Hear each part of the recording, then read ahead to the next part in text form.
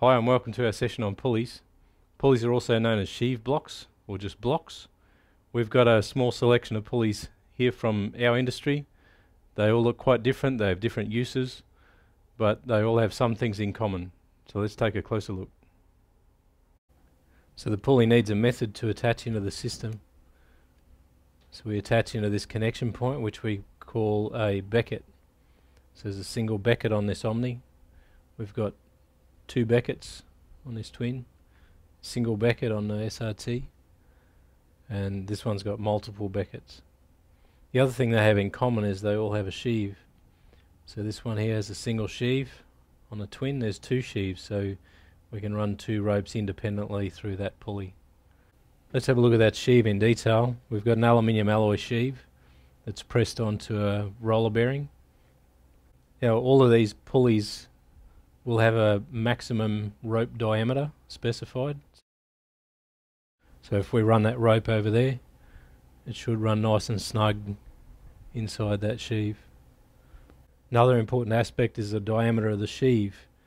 Now, we don't necessarily want to know that diameter, which is the overall diameter. We want to know the diameter of the tread. And the tread is the bottom of the concave section there. Some organisations will specify a minimum tread diameter being four rope diameters. So if you run a half inch rope, they'd specify that the pulley tread diameter has to be at least two inches or 50 millimeters. Another aspect we look at is what that pulley's made out of, or the sheave's made out of. This one's aluminium alloy. In our application, aluminium alloy gives us the best balance between cost, weight, and durability. If you wanted a pulley that was lighter weight or lower cost, you might go to a plastic sheave, but you're going to sacrifice durability. If you're looking for durability, you might want to go to a stainless steel sheave or a hardened steel sheave, but that's going to add weight and it's going to be more expensive. So let's have a look at that bearing in more detail.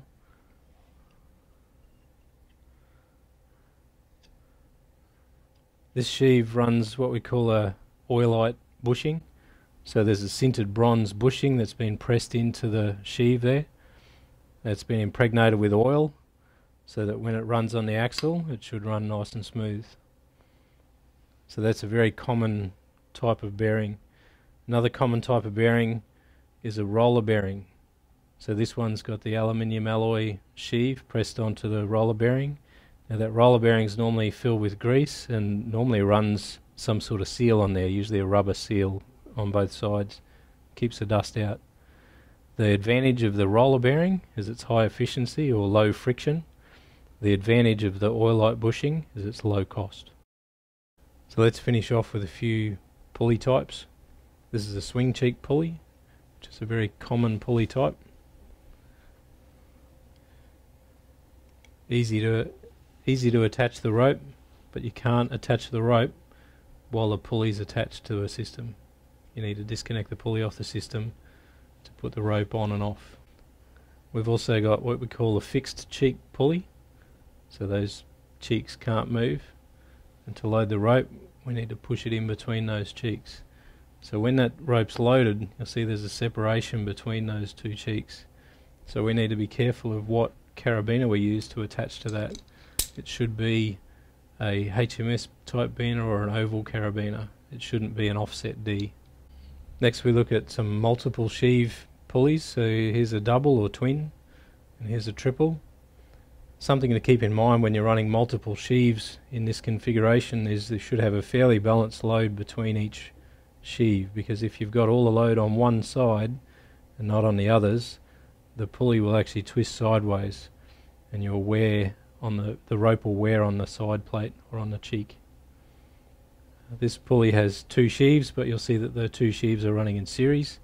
We often call this a tandem pulley. Next we have a knot passing pulley. This is a Petzl Kootenay. It runs a 3 inch tread and it's also a very wide tread. So you can either you can either use it to pass knots or you can also use it to support multiple lines. So you can fit four half inch ropes across there or four 12.5 millimeter ropes across there. Next we have a self-jamming pulley. Now this is the first pulley I've shown you that we can actually open that plate up, the front plate, while it's still attached to a system and then connect the rope. So with this particular pulley we can engage the cam, so it's a tooth cam inside there, so the rope will run through one direction but it won't run the other way, so it'll jam up inside there. So it's our self-jamming pulley. The more traditional way of getting that same effect is to run what we call a Prusik minding pulley. So this Prusik minding pulley here, we attach it to the rope, we attach our Prusik to the rope, and we should get the same effect. So we can pull the rope through one direction and it should jam the other. So that's our Prusik minding pulley. So the last pulley I want to finish off with is this one. This one runs a swivel, so the pulley itself can rotate freely. It also has a lockable front plate or front cover, and that front cover has a safety latch in there.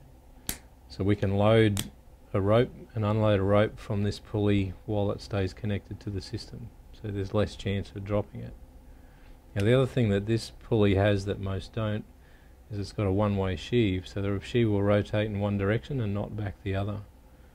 So we can have a rope that pulls freely in one direction, but adds friction in the other direction, which could be a, to your advantage if you're in a haul system. You might have the rope running through in this direction on the haul as you raise the load, and if you lower the load, that adds some friction to it coming back the other way. So it's the key thing with this pulley is to not get that switched around the other way. So you don't want to be trying to haul through a pulley that isn't spinning. So in summary, you won't just find a sheave inside this sort of configuration. Um, you might find a sheave mounted inside a carabiner. So the revolver runs a tiny little sheave on the end of that. Um, you can also get a plastic sheave that will go over a carabiner, go onto an oval shaped carabiner that'll reduce friction as you drag a rope up through it.